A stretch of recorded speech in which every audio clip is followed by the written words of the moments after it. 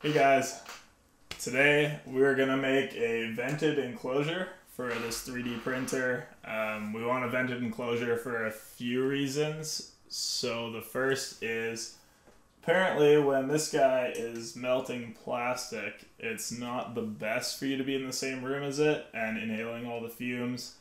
Uh, there have been some studies that say the byproducts of 3D printing aren't that great for you. I'll post the link in the description.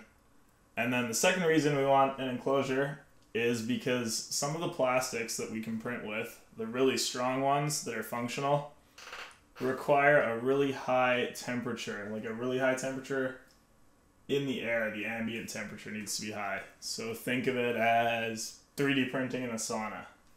So what we're gonna do is seal this thing up, and then we're gonna run a hose out the top up here and kind of out a window or something. And we're going to rely on the heat that comes out of the heated bed down here to kind of hot air rises. Hopefully it's going to rise up the tube and out the window. If you wanted to get really advanced, you could put a fan up top. But my build is going to be as cheap as possible. Super cheap enclosure. I couldn't find anything out there for, you know, like a 40 or $50 enclosure that had see-through side panels and everything. So um, I figured out one for you guys, and hopefully you like it. Um, what else? So, assuming this build did work and uh, everything fit together, what I'm thinking the parts list is is uh, some hose right here. I think it's uh, 5 eighths inner diameter and just super thin walled flexi. And then the paneling, we're going to use window insulation film. So grab some of that. Um, I've got a whole bunch of it, I think. Like a hundred feet or something. Too much, but yeah, get yourself some window insulation film. Figure out how big your printer is and how many squares you're to need to get around it. And then all the side walls are half inch PVC. And I grabbed ooh, 30 feet.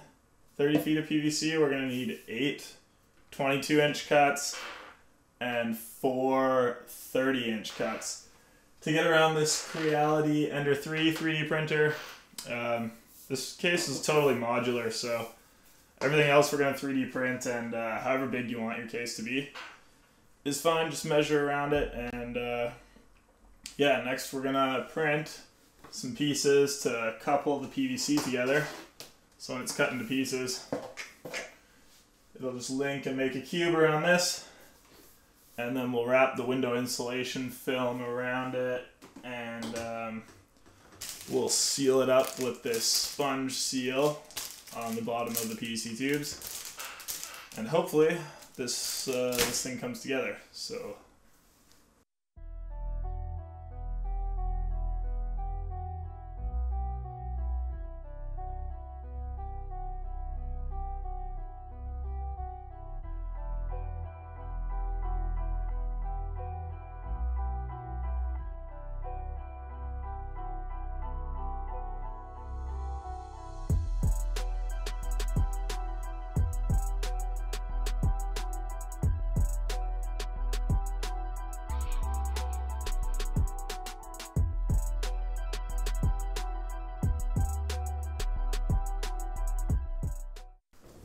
let's take a look at uh, our 3D printed parts. They're done now.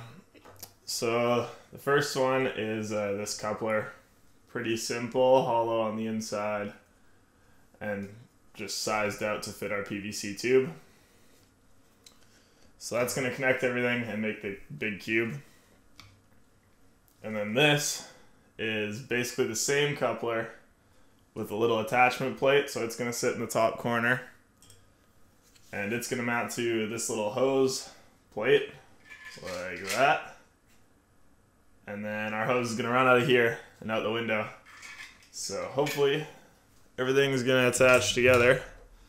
And we'll just kind of run some glue in this guy some extra tape if we have to to hold all the PVC tubes in place. So let's cut them and stick everything together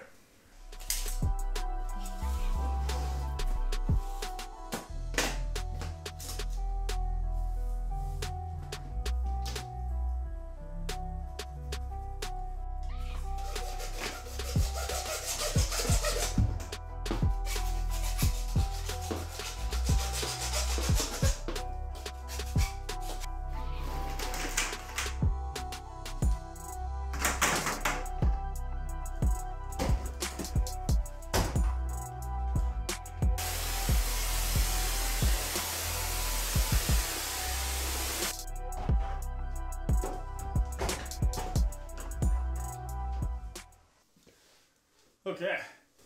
Our parts are all printed and our tubes are all cut. So let's see if we can get some sort of idea of what this thing's going to look like and uh, how we like the fit of everything. So let's do it.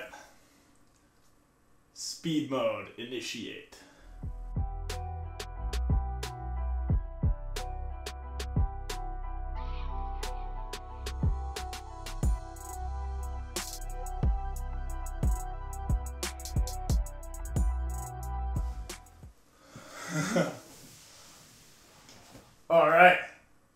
Looks pretty good to me, I think. Um, gonna test it over the 3D printer and then uh, glue it together.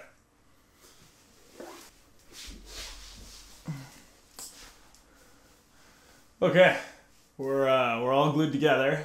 Uh, I used some electrician's tape around the edges just because I didn't really trust the glue that much. Uh, so we're going to test out the window insulation film now, and hopefully it works, because this is going to be the kind of deciding factor on this build.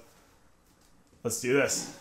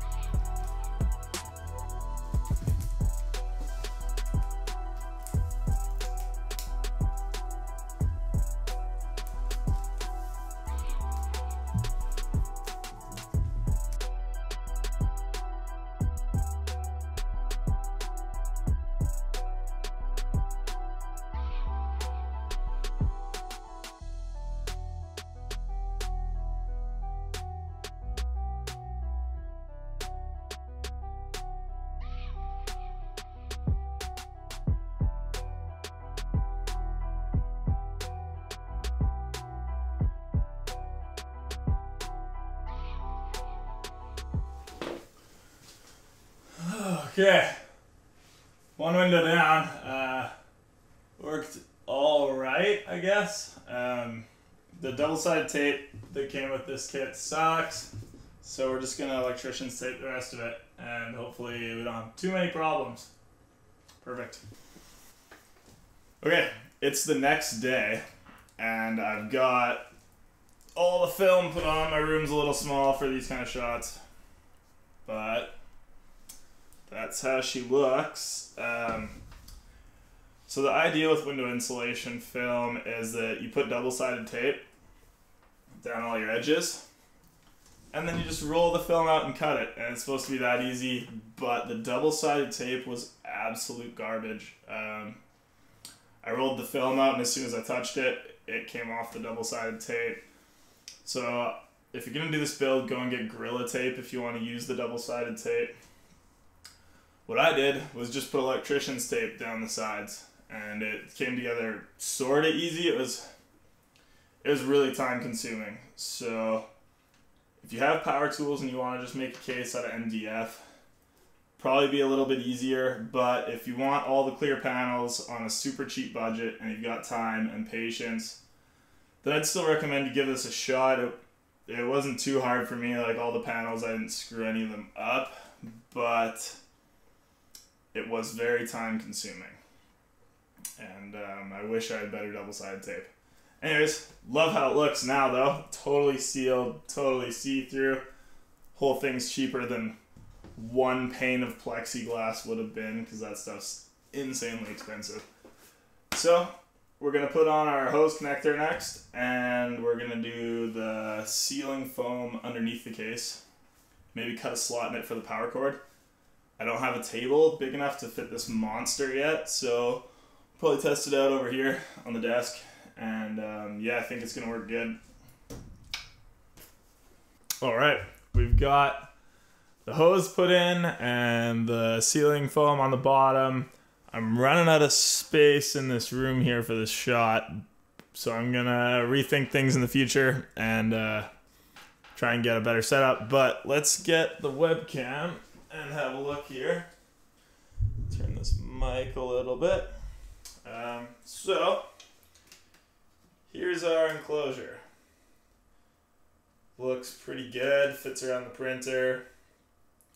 Got that hose running out the window. And I think it turned out pretty well for a nice budget enclosure there. I'm really digging the the totally see-through insulation film. Let's get back on me.